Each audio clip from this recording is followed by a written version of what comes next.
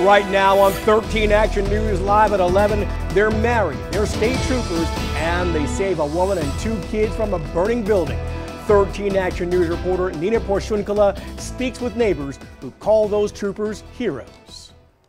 Christopher, the fire spread pretty quickly, blocking exits, trapping people inside. A woman had to get out through that window, and neighbors here say they are thankful for those two off-duty troopers for saving at least six people's lives. They must be com- commended and acknowledged for that, for the simple fact is they were off duty and they still have their work as number one. That's very selfless of them to not think about themselves and think about others. A coincidence that helped save people's lives. Troopers Trissa and Joseph Delabella were driving by Cornerstone Crossing Apartments when they noticed a building on fire. It's scary because you never know um, when one fire starts in one apartment because we're so close together, it can just spread so easily. Trooper Joseph went in to rescue a woman who went in her smoke-filled apartment to rescue a pet.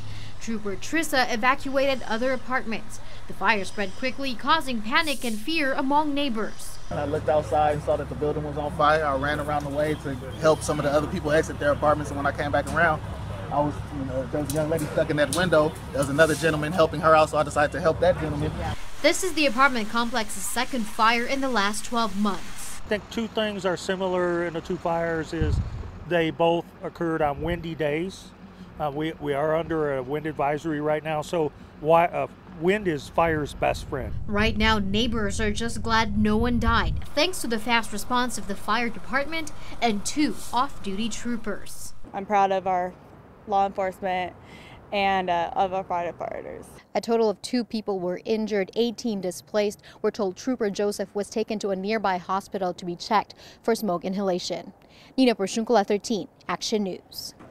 New developments in a deadly helicopter.